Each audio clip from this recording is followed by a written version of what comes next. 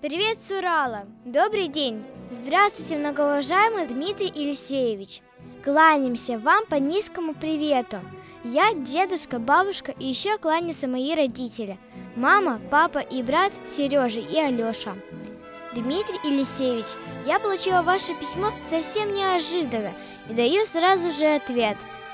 Дмитрий Елисеевич, вы пишете, что хотите повидать Кроню, то есть его фотокарточку, но я постараюсь переснять.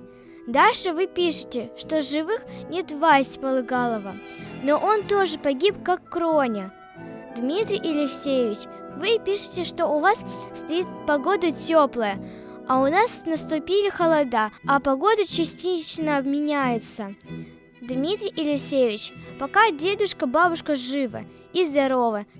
Дмитрий Елисеевич, я посылала вам письмо, но не знаю, дошло или нет. Оно вам и в нем была фотокарточка, моя. Я снимала с лета, но не знаю, получили нет. Дмитрий Елисеевич, если можно или есть возможность вышлить нам фотокарточку, тогда мы будем знать, какие вы есть. Дмитрий Елисеевич, каково ваше здоровье, а мое все по-старому. С 7 декабря пошел 16 год. Дмитрий Елисеевич, я самая младшая из нашей семьи.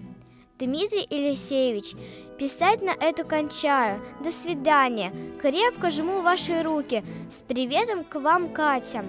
Привет большое, большое от дедушки, бабушки, мамы и папы, Сережи и Алёши, в том числе и от меня. Привет от Васи Ной П, сестры Васи Полыгалова. Пиши ответ, жду. 11 декабря 1945 года. Катя.